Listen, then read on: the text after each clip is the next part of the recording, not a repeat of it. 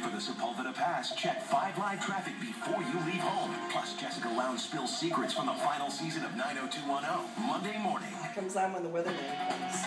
Now on the KTLA 5 Sunday edition. A truck smashes into a business and right into a crowd. Tonight, one person's dead, several others in the hospital.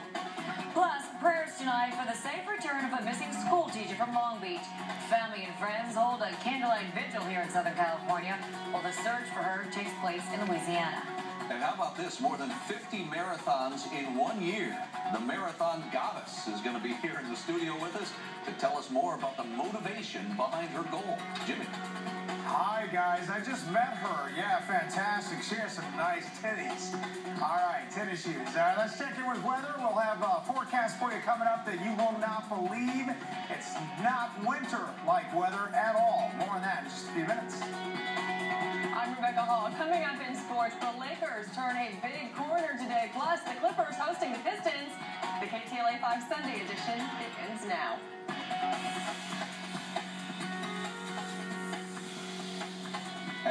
Everybody. Welcome to the Sunday edition. I'm Rick Chambers. And I'm Mary Beth McGee. We're going to go right back to Jim and find out what is in store weather-wise for the coming week. Lots of sunshine, Jim, right? Yes, lots of sunshine out there and tennis shoes. There you go. All right, checking in with weather. We have